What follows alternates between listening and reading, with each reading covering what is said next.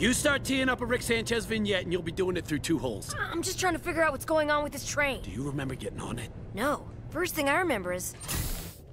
Tickets, please. So, why did you date Rick Sanchez? What? Oh, you don't have to pretend you didn't date him. We all did. We get it. Low point in your life, rebound from an ex, etc. No, really, who? Oh, exactly. In fact, and get this, when he met my family. Jesus! I warned you not to do that. I wasn't trying! You don't have to. The train is obviously amplifying and linking unrelated narrative fields. Uh huh.